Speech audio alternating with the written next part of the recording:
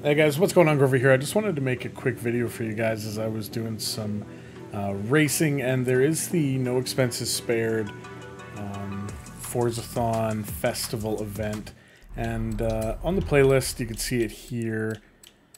Uh, where are we? Right here. And you can see the cars required are Horizon Special High Rollers. And when I first looked at this I was a little uh, little concerned because I didn't have a vehicle that uh, that was eligible.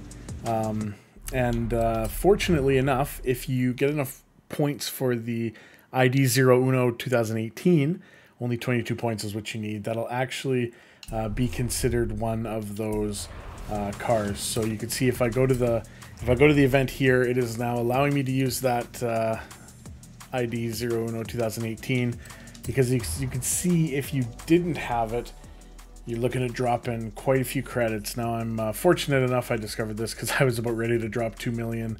Uh, you can see 2.8, 2.3, 15, 2 million, 2.1, 2.5, or 15.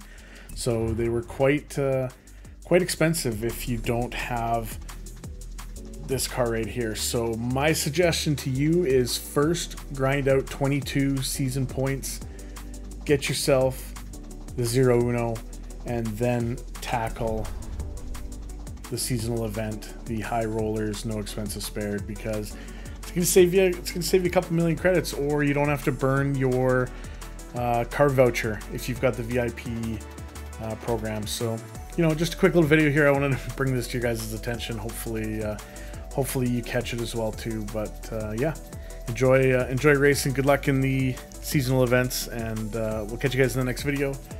Be good to yourselves, be good to each other, and we'll see you next time.